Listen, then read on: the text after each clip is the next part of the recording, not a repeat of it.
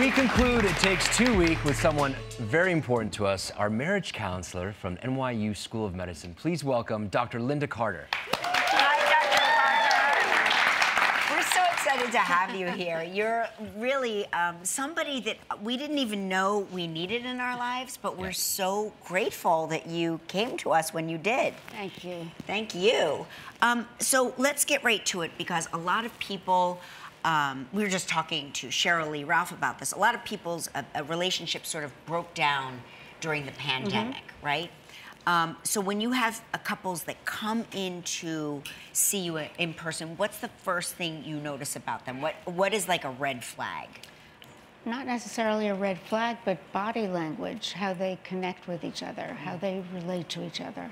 Um, and you, you, you can really see if, it's, uh, if there's a kind of chemistry there, which is I obvious. noticed you when we when we first sat in your in your office. You were looking at us a lot. You were checking. You were you were, you were like like uh, tracking us a little bit. I, that, that's what she was doing. Really? Yeah, she You was think? clocking it. How do Yeah. we have normal body language? Better.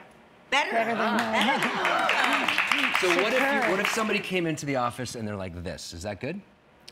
Um, I'd say that they're closing themselves off Okay, a how little about bit. this? Yeah. Open is How about- better. How about this? no, no, no, no, no, no, no. That'd be bad, right? That would be bad. You know what I find interesting is that Mark has never fallen asleep while we've been in session together, which is a really the Yeah. highest compliment I can possibly think because he tends to fall asleep a lot. Fall asleep. Yeah, I Yeah. mean, You know what? I, I- someone told me um, that it's because I have a very clean conscience.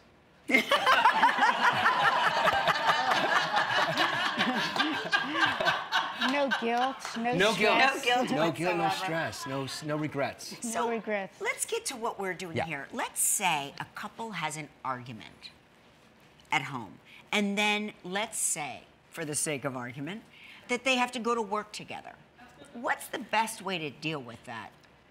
I think that it's really important to have a ritual for knowing that things are fine, the argument is over, holding hands, um, you know, with, with some A signal. A signal. Yeah. Squeezing their partner's hand. What if the argument isn't over, Dr. Well, it's a signal that we'll get back to this later, but for now we're putting it on hold. Because we've had a disagreement and we've had to go, not, not here, but had to go to a public setting, a party or a dinner party, and I'll go in to signal Dr. Carter that I'm done with the argument and I want to, just by a holding of the hand, I want to hold the hand. And what I feel on the other side of this warmth, what I feel on the other side of this warmth is the coldest, deadest hands. because when she's happy with me, she gives me a squeeze, a little touch. But what she's signaling, it's it's like I do, I it's like a I corpse. I'm holding a corpse. And you do it on purpose. And then what happens after that is I, I hold the hand, it's dead, and I'll look to her like this, and she sees me by, out of the corner of her eye, and she just goes. like, buddy, this ain't over yet. Right. Is that okay? No, squeeze his hand. Squeeze his hand. You Yeah. wa- I should reanimate the hand. Animate the hand, and which lets him know it's over for now. We will get back to this later. Don't worry. Since the pandemic, a lot of couples have been, uh, they find themselves in a position where they are living together and working from home. So, how do people navigate that shared space successfully?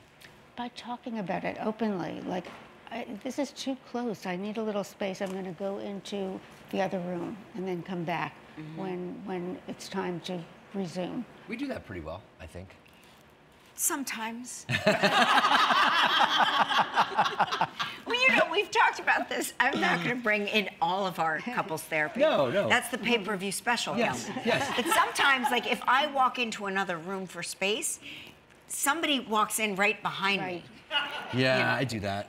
Sometimes. All right. Because it's anxiety provoking, that separation, that Right. moving Yeah. away. So I yeah. have I- to give him the warm hand Warm and then hand. walk And away. say, and say I need a minute, and then I'm gonna go. Okay, we have to take a commercial break, but here's the good news. When we come back, we're going to find out how Mark can live five years longer. Just Mark? We're back with Dr. Linda Carter, our marriage counselor. What, so, what do you talk to uh, couples like us who are empty nesters? Like, what's the best piece of advice you could give for people like us?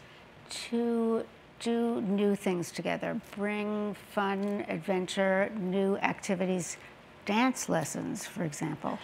That was so fun. We did that Yeah. this week. Really? Yeah. we did. really? yeah. I mean, you know, just new creative activities that bring a sense of adventure, even a sense of risk into your relationship. That was we did that, That last was- year. We rock climbed. Yeah, we rock. Climbed. Oh, perfect. It brings you together. It, it Yeah. does. And what happens uh, to a couple when, say, one person is retiring and the other person has decided to stay in the workforce? How does that go? I think it's so important to verbalize and talk about your expectations. So, say Mark is retiring, and Thank Why you. is Mark retiring? Why does Mark always get to I retire? just started. I just, I just started. We're talking down the road. Down the road, down the yes. um, and wants to have lunch with you every day. This is the complaint I hear from wives who have husbands retiring. I didn't marry you for lunch. Now, the biggest takeaway of this segment what can we do that's going to make me live, what, five years longer? Yeah. Well, there was a German study, this was so surprising and fascinating, that showed that husbands that kiss their wives goodbye in the morning lived five years longer. Not only that, they made more money Oh, and they, their health was better. I do that's that. incredible. Yeah, you do do, do that. that. Yeah. Yeah. So you're I'm going, in. you're in. Doing it forever. Dr. Carter, thank you. These are Yeah, such practical you. tips, very uh, easy to follow, and we really appreciate working with you and you being here for us. We'll be right back.